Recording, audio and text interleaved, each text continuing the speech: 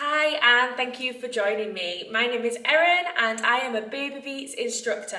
I am also a before birth Baby Beats instructor as well. And I am currently 21 weeks pregnant. So today we are going to do a short workout, a sneak peek at what we get up to in the before birth classes.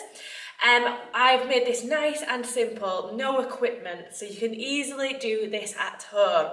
I have got myself a chair um, just in case I need a bit of support if I feel a bit wobbly.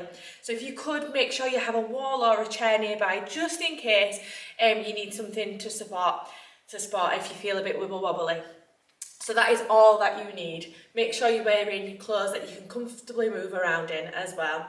Now to take part in this workout, you must have medical clearance. Yeah, you must be safe and well enough to exercise in your first, second and third trimester. Once we feel ready, let's get going. Right, so we should be ready to take part in our Baby Beats before birth workout now. So we're going to start with our feet about hip distance apart, standing up nice and tall, shoulders back, chest is proud. And we're going to start with a little bit of a warm up here. So to begin with, we're just going to do some foot pedals. So we're just gently lifting one heel at a time. And I want you to think about these core muscles as well. So if you can imagine pulling that tummy button all the way back to the spine. Now we don't have to use anything to balance against if we feel quite comfortable, but it's always nice to have something there, just in case. Lovely. We could even do this seated. So if you want to take a sit down, you can continue doing this movement, but seated. Lovely, so we're keeping this going, working all the way through the feet. Yeah, and our knees are tracking the toes, coming forwards. Lovely, so I'll just show you from side on, just working through those feet.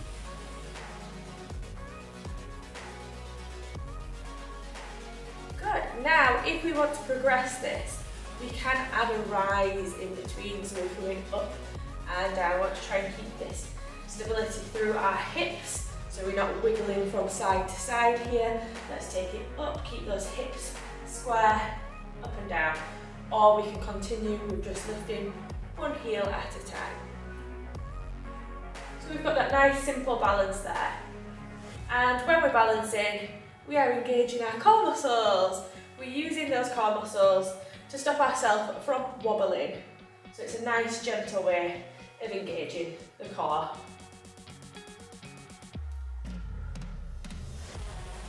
This is my second baby that I'm expecting and I found second time much more challenging, I'm feeling it a lot faster. But I find personally, exercising does really, really help.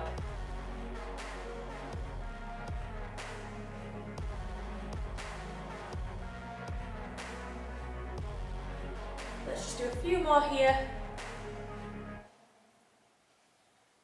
And rest. Lovely. Now we're going to take a point and flex with our foot. So we're going to come all the way out, flex, point, and then bring it back in. And then we swap sides. So come out, flex, point, in. We can place those hands onto our hips, or you can use a wall or a chair for support. So with this exercise, what we want to try to do is stand up nice and tall. Try not to sort of pop your weight onto that leg that you're standing on. Want to lift up and out of the hips, the ribs,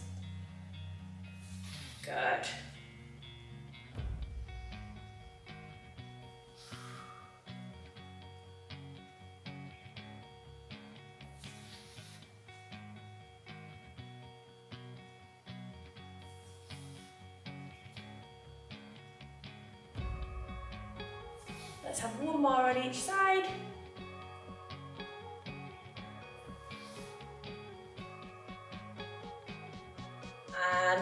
Well done. Let's engage this upper body now. So just feet nice and firmly planted on the ground, soft, squishy knees, and we'll take some arm swings. So you can start nice and small, And as you feel that body warm up, we can make this a little bit bigger. And we can do this seated as well. So everything that we've done so far, you can do sat down.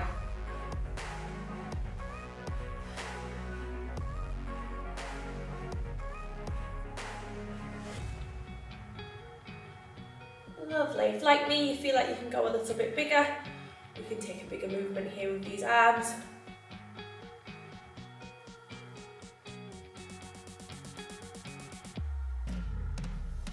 Nice big arm swings. Lovely. And not forgetting about that core. So if you imagine you're hugging baby in nice and close and tight with those core muscles, give them a cuddle. And we want to make sure that we're standing nice and tall here. We're not coming too far forwards or too far back. Our weight's right in the middle of those feet. And you might start to feel that in those shoulders. And rest. Lovely. Now, let's get the blood pumping and we'll go with a march. So we're lifting those knees. Now we just want to lift the knees as high as we can comfortably do so. I still have quite a bit of motion here, range of movement, sorry. Um, but obviously if your bump's quite low or if you're getting quite big now, your match might be a bit smaller than what mine is. And we can add in some arm swings as well.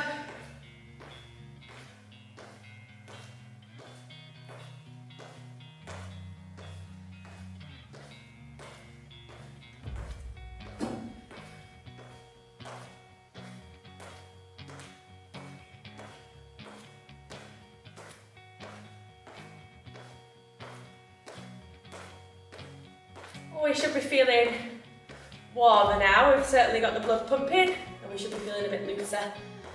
And we're ready to try some more challenging movements. Now before we get on to any squats or anything like that, we're just going to take a twist. Now, we want to try and keep these hips nice and square. So what I mean by that is not sort of twisting all the way here. We're just going to gently place our hands on our hips I'm going to see if we can twist from the ribs, looking over our shoulder. Now we'll keep this nice and small. Obviously, we're not going to be twisting all the way around to the back of the room now that we've got that growing bump.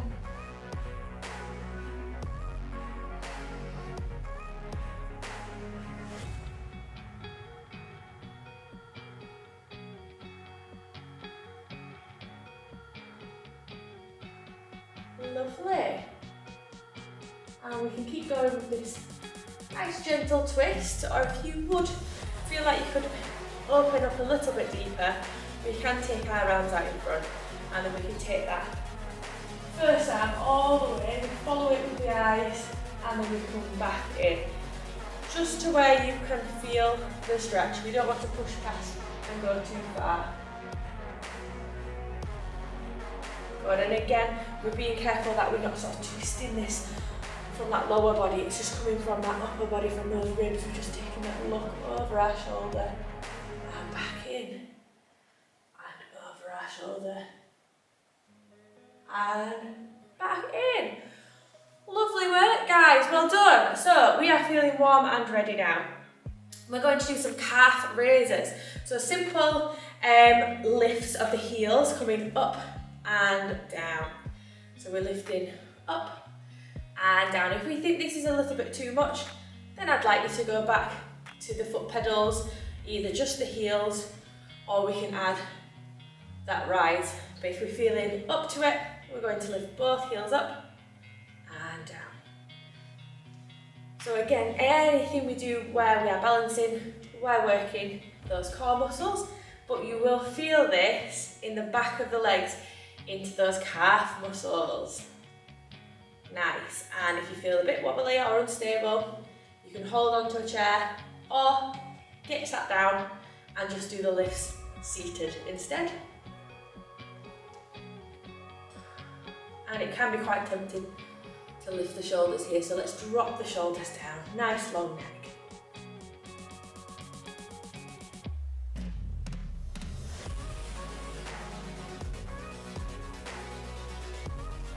I can really feel it now in the calves, up the back of my legs and into my glutes, into my bottom.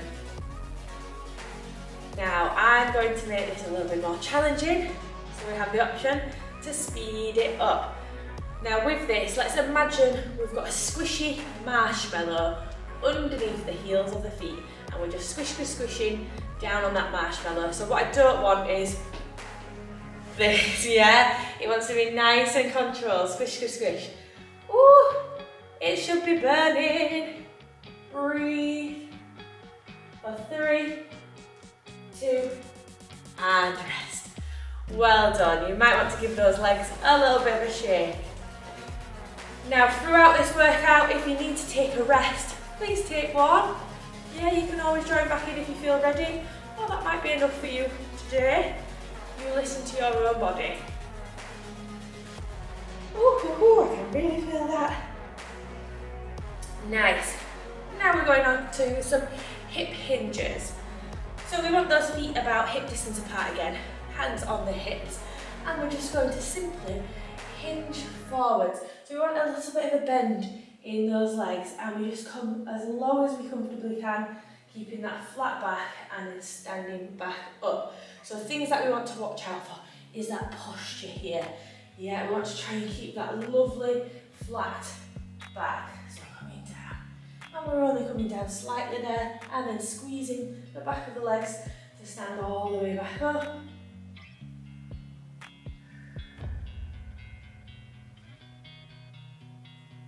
Good. So just make sure we're not locking the legs. You want to have that soft and spongy knee. Good, keep that going. Just in your own time, your own speed.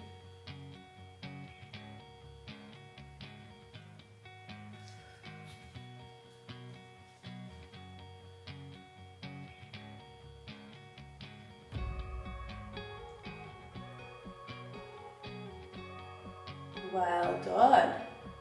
So good for that. Um, hip mobility.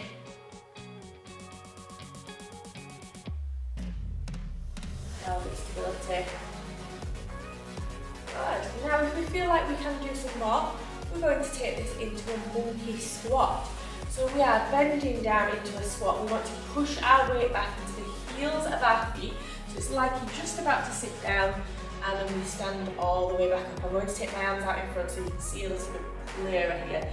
So we push down and up. So some people at home might be feeling like they can go nice and low into that squat. Or we might want to keep it smaller with our range of uh, movement here, motion.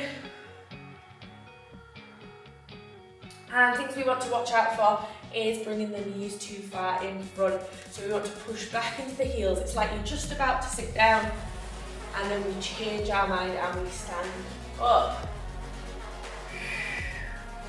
We should be able to wiggle our toes when we're at the bottom. So if you can wiggle your toes, fantastic. If you can, you're probably too far forward with those knees. So we need to push back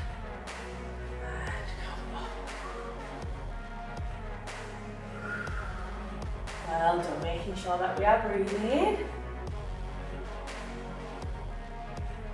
And another thing that we need to watch out for is this posture.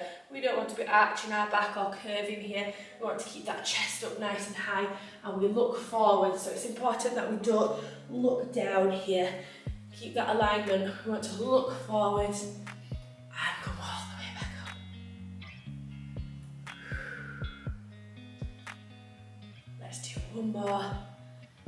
Down we go. And all the way back up. Well done, nice work. So we've got that lower body engaged there now as well. Now next, we are going to do a chest extension with some arm pulses. So we are standing nice and firm, feet about hip distance apart. We're going to take the arms down by our sides and your palms are facing backwards.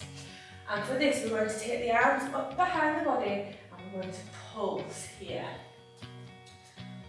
Lovely. So, we're pulsing up little lifts. Breathe. So making sure those shoulders haven't lifted, so shoulders down, chest is proud, working those triceps. Woo! This is a muscle, an area of the body that I, I neglect. So I always feel these. You know what? When baby comes, you get stronger. You're carrying around prams and car seats. That's one thing that you end up being stronger is in the upper body from carrying baby around and all the added extras that they come with.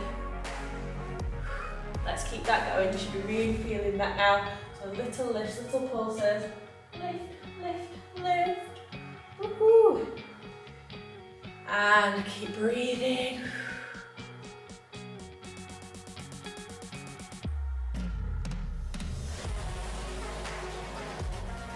Squeezing the triceps, the back of the arms.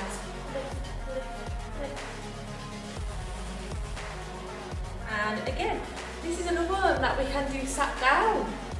So pretty much all of this workout you can do seated as well. And in our classes in person, we do use equipment, but when we're doing it at home, I like to make it so that everybody can join in.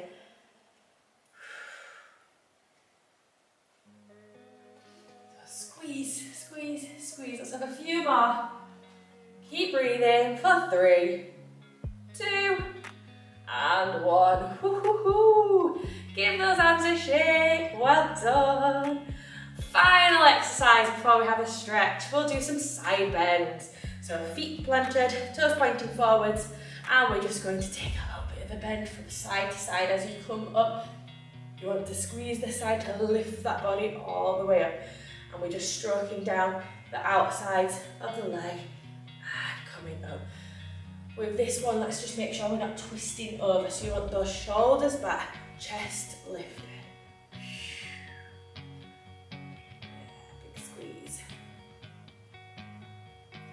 Squeezing the sides of the body to lift up.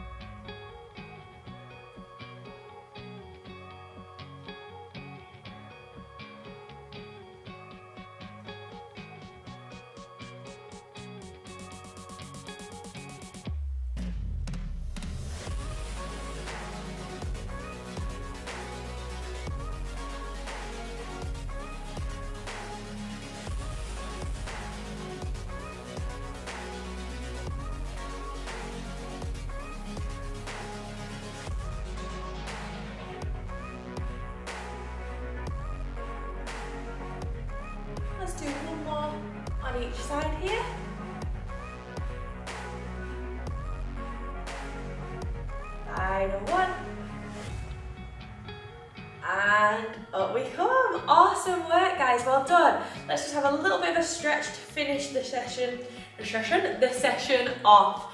So we're going to interlace those fingers, take a nice big breath in. As we exhale, take the arms out in front of the body, put that chin to chest.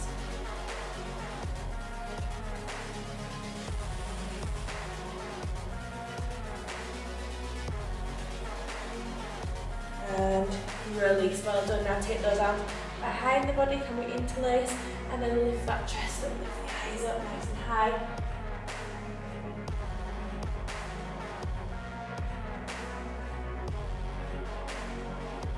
And release. Well done. Let's just gently drop that right ear down to right shoulder. Nice big long space on that left side.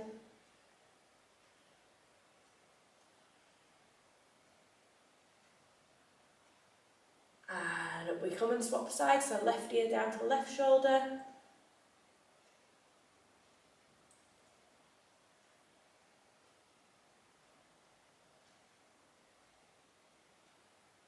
And up we come, big inhale, shoulders come up. And big sigh. Oh. and give yourself a clap. Well done.